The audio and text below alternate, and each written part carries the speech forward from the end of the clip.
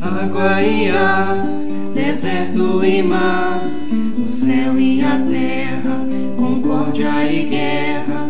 sagrado e profano, divino e humano, masculino e feminino, velho e menino, noite e dia, doente e sadia, sapiência, ignorância, pureza e arrogância, sonho e real, bem e mal,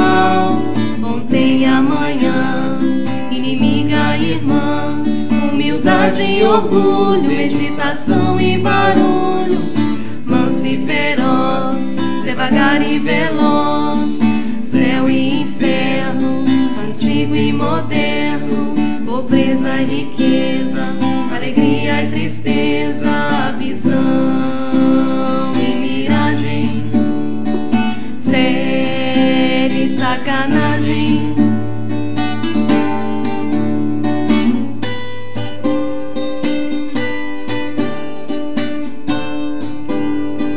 Tudo isso se encontra misturado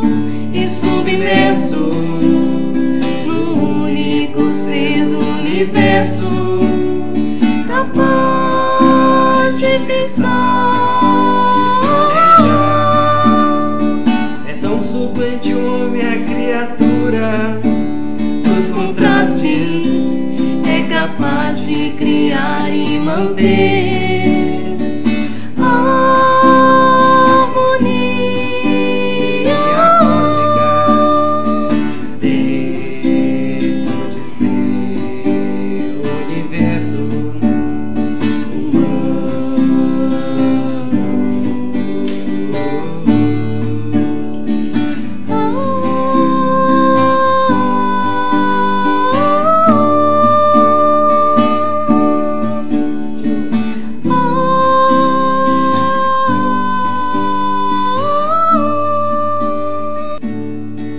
tão somente o homem a criatura